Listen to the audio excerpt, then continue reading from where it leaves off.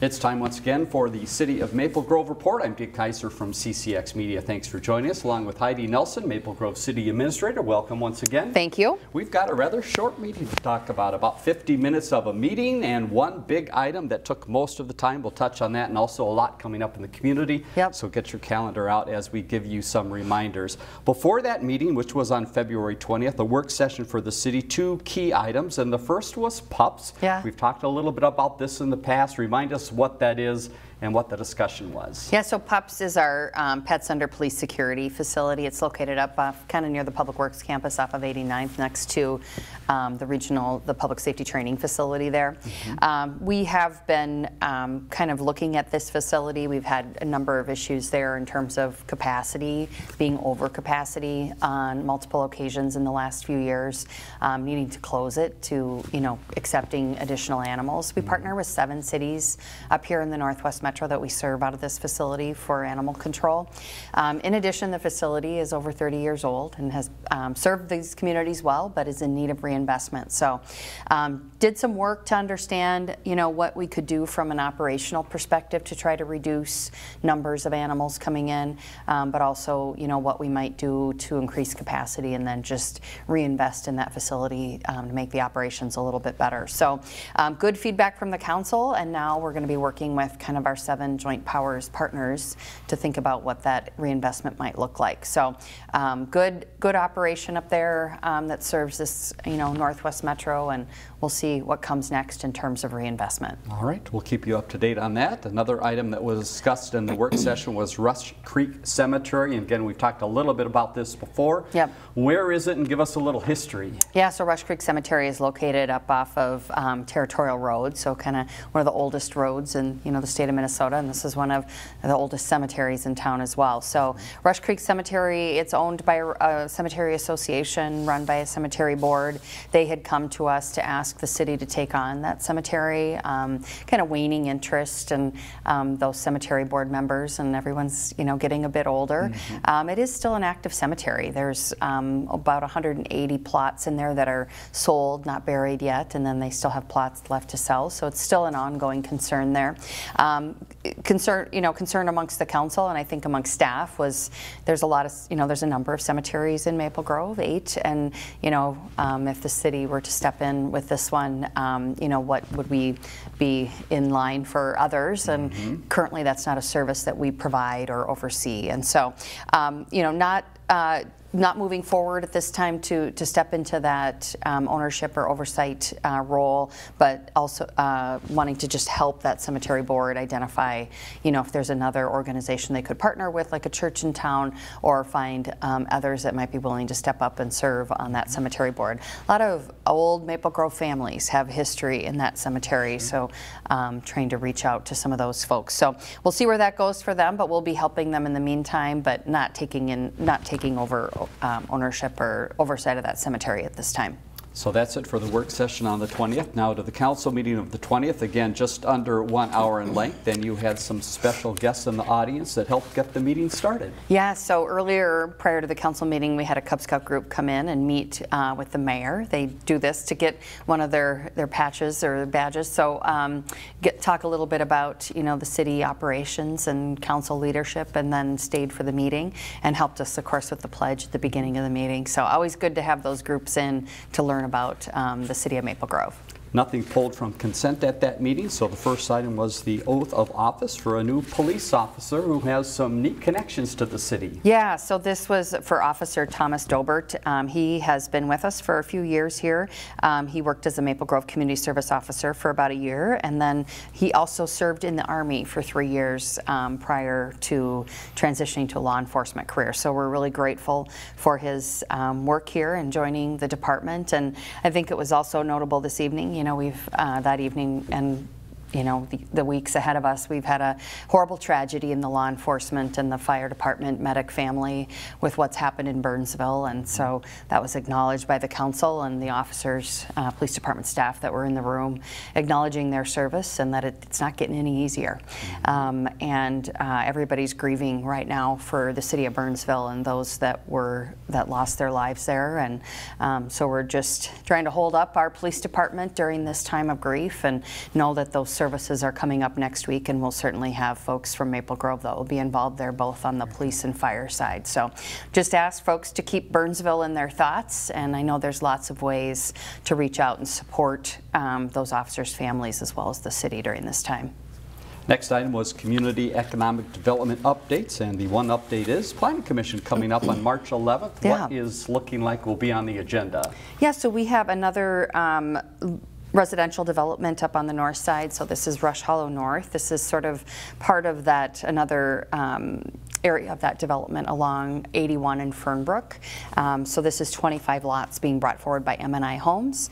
And then we have Top Line Credit Union out at 101 and Bass Lake Road. So kind of one of those outlots out in front of Hy-Vee. So that'll be in front of the Planning Commission on March 11th. And let me just check on that preferred one credit union, is that correct? Just to make sure we've got the right one. Uh, I had Top Line Top in line? my All right. notes, but. It is a credit union. It's a credit so union, so. Take a look for that. Maybe I wrote, yep, could be. Very good. All right, engineering items, some great news about Fish Lake. Tell us a little of the history of this topic and what the great news is. Yeah, so, you know, the City of Maple Grove, in conjunction with our Lake Quality Commission and the various lake associations, does a lot of work to try to improve water quality on the lakes in Maple Grove. And a lot of work has been done on Fish Lake. And so that lake is poised to drop its impaired water status, which is very, um, very much something to celebrate and great for the lake owners, um, the homeowners out there on Fish Lake, as well as the folks that use the regional park there on the south side. So congratulations there on the work there that has been done to try to improve the water quality on Fish Lake. And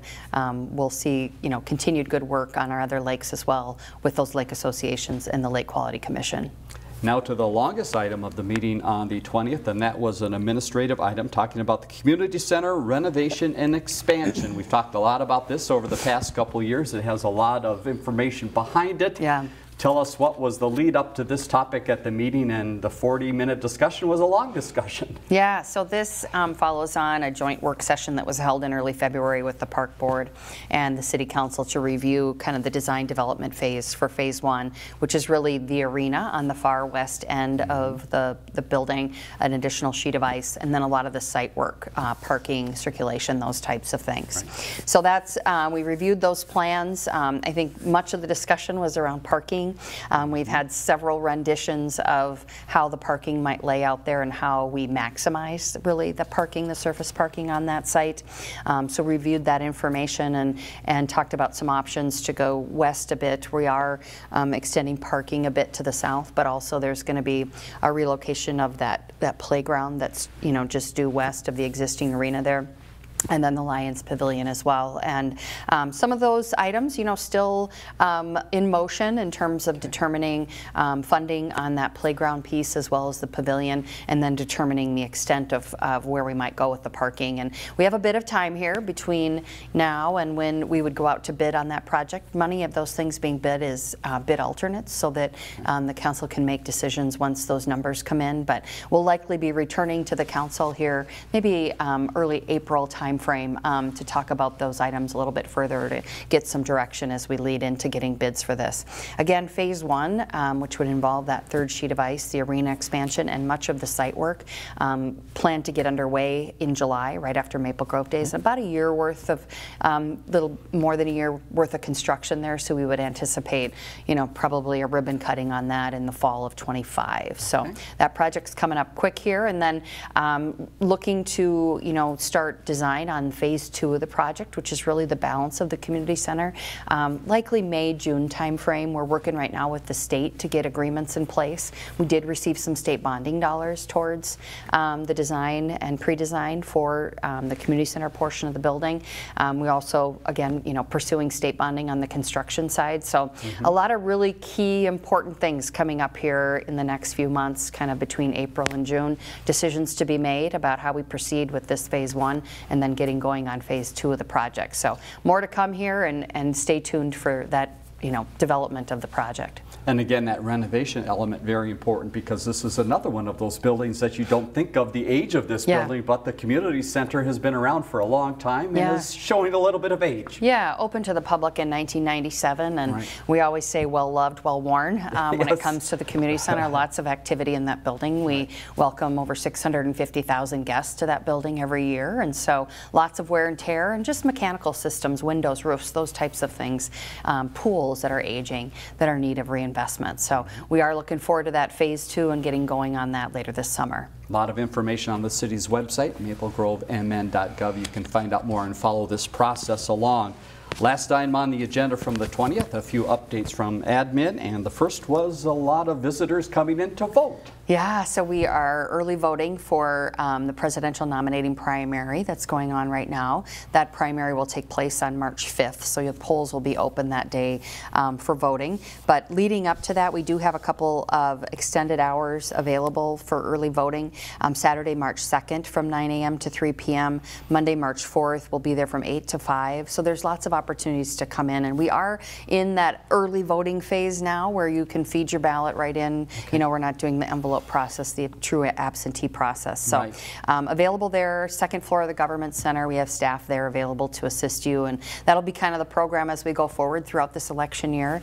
This presidential nominating primary, then we'll get into the regular primary, then of course the general election in November. So lots of um, election activities going on in the coming year. And again, then on election day, this time, it's just like a regular election. So as far as where people go, they can go to mnvotes.org and find out more. Yep. But it's all of the precincts, correct? It is, yeah. And just note, um, in the last, you know, we did some um, reduction of precincts, Right. just mainly because of the number of folks that are voting ahead of time.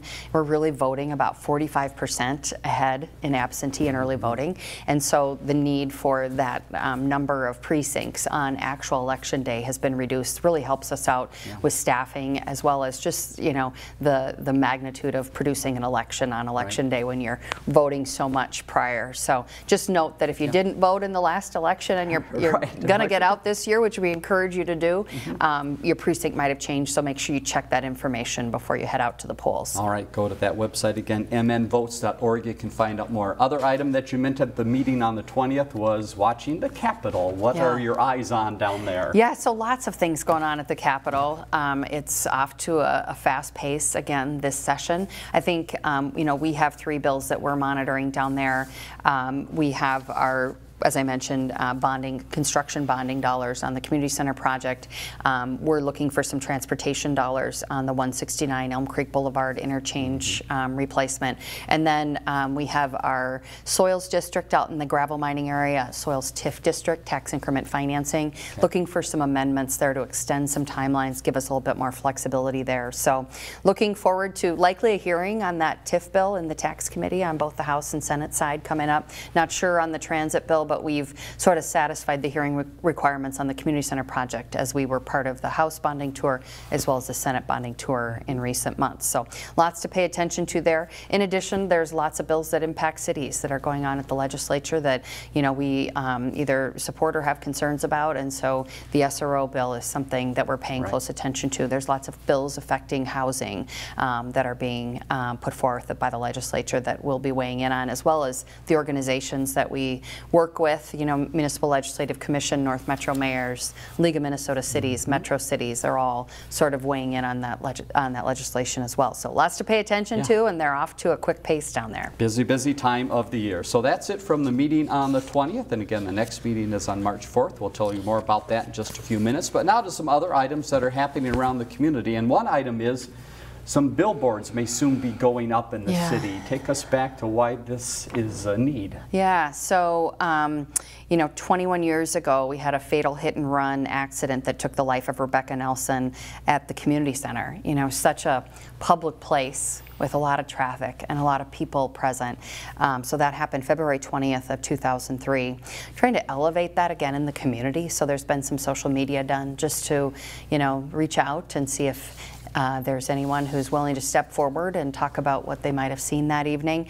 Um, you can make an anonymous call to Crime Stoppers. That number is available on um, social media and website information there. We're also doing some billboards out on the, the billboard that we have access to off of 694 with that Crime Stoppers number and just kind of putting it back at the forefront of people's minds. Um, we do believe somebody knows something um, with regard to what happened there that night in, you know, 21 years ago. And um, certainly for the family, they would love to have resolution to this, to what happened to Rebecca that evening. So very important, you know, loss for this community. And uh, we just want to keep bringing that back up to see if we can't get some leads on this. Watch for that information coming out.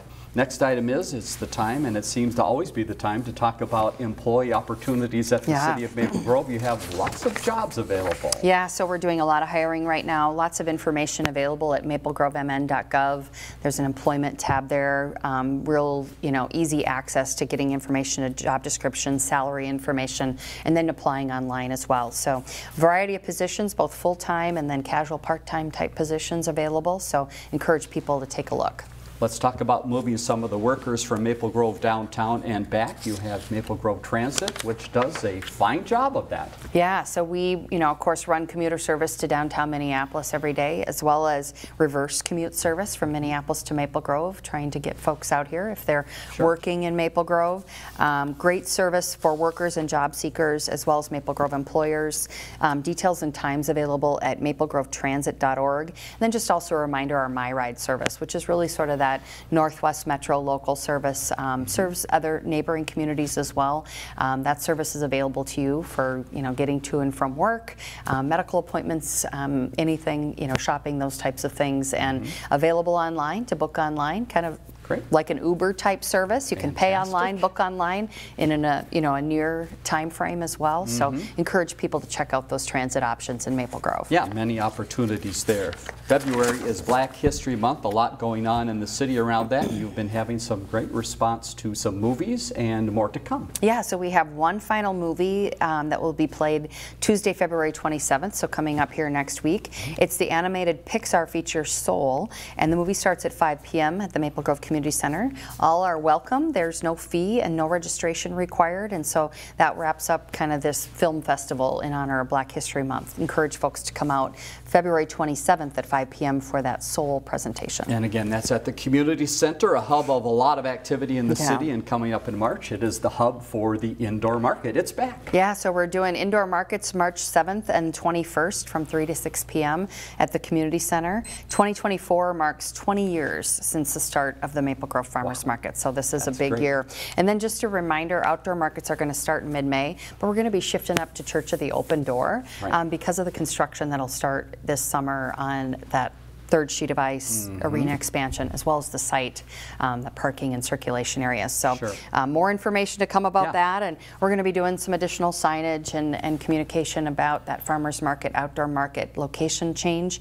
Um, but don't forget about the indoor markets coming up March 7th and March 21st that will be inside the community center. Very good. Here's another thought for your spring and summertime needs. If you've had a graduation coming up, the city may be able to help out in the way of some space. How Yeah. does this work? Yeah, so graduation, spring get-togethers, um, great options for you in the city, whether you're up at Central Park or the Community Center, Town Green Meeting Room, those types of things.